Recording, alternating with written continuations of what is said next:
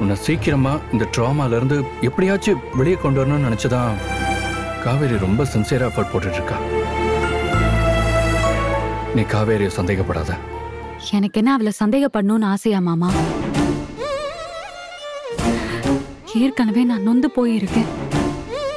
நிவின் கன்ஃபார்மா வருவார்னு சொல்லி பாருங்க. என்னை இப்படி கல்யாண பொண்ணு கோலத்தோட ரெடி பண்ணி அழைச்சிட்டு வந்துட்டு இப்ப இங்க வந்து நின்னுட்டு அவருக்கு கால் பண்ணிட்டு இருக்கா. இதெல்லாம் நான் எப்படி எடுத்துக்கிறது? காவேரி நிவின் கிட்ட போன்ல பேசி கன்வின்ஸ் பண்ண ட்ரை பண்ணா. அதை நான் பார்த்தேன். நிவின் சைடுல ரெஸ்பான்ஸ் இல்லைன்னு நினைக்கிறேன். அது காவேரி என்ன பண்ணுவா சொல்லு?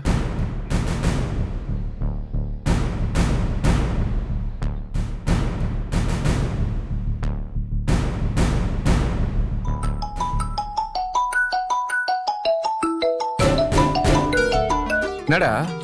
ஏதோ அன்னோன் நம்பர்ல இருந்து கால் வருது. இன்சூரன்ஸ் கம்பெனியா இருக்குமோ?